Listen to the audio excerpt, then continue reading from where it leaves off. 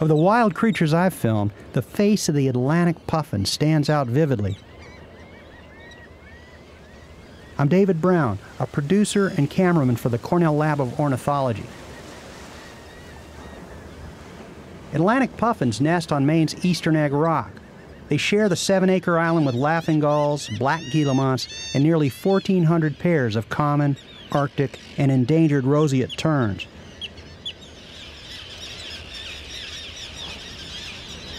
Dr. Steve Kress of Audubon invited sound recordist Ian Fine and I to spend two days filming and recording on the island.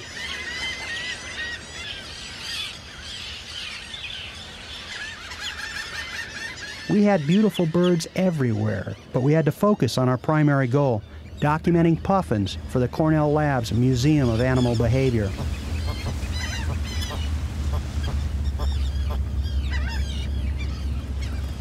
Working in those crowded breeding colonies, it's hard to believe that hunters, in search of eggs, feathers, and meat, stripped eastern egg rock of these beautiful birds by 1887 and wiped out terns here by 1936. This is the world's first restored seabird colony. Dr. Kress and his team pioneered recolonization techniques here in the 1970s, using decoys to get puffins imported from Newfoundland to breed here. Decoys were also used to attract terns, along with audio recordings to simulate the shrieking chaos of an active tern colony. Terns nested on eastern Egg Rock in 1980 and five breeding puffin pairs nested in 1981 after nearly 100 years of absence. The methods developed here are now used worldwide to bring back lost seabird colonies.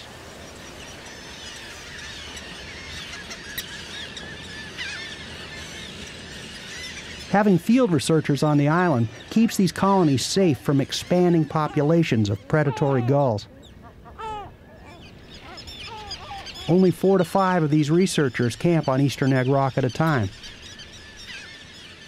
Accommodations include small tents, an outhouse, and the Egg Rock Hilton, a solar powered research station serving as both kitchen and conference room.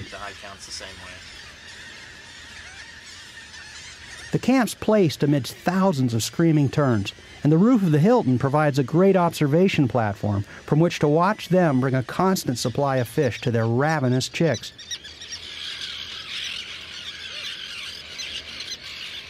Researchers always leave camp as a group to reduce disturbance to the birds.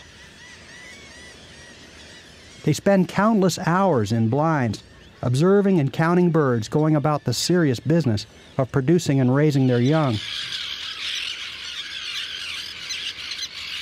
Sunrise brings a fantastic chance for us to spend time with the puffins.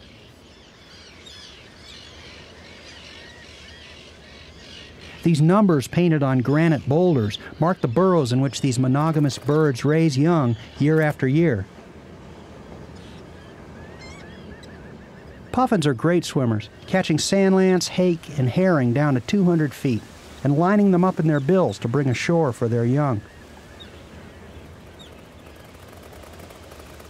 They can fly in air and water with wings adapted to move in both worlds. The birds preen to keep their feathers in good condition for flying and for protection from the icy waters in which they dive.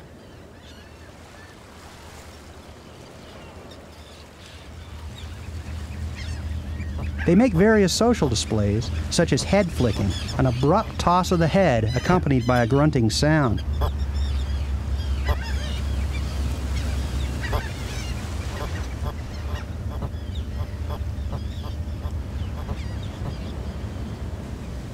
Billing is a behavior that reinforces pair bonds, formed and maintained over a lifespan of 30 years or more.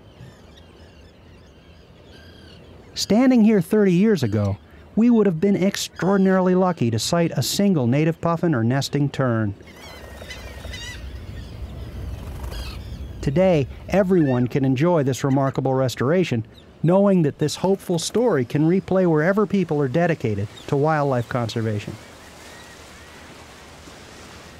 Biologists in a dozen countries have used methods first tested here to restore more than 40 different species of rare seabirds.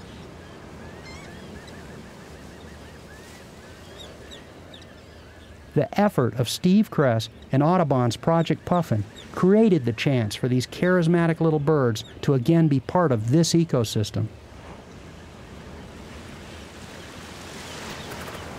Our opportunity this trip included a crystal clear morning with 40 puffins surrounding us, a chance to experience a small, restored piece of an older, wilder world.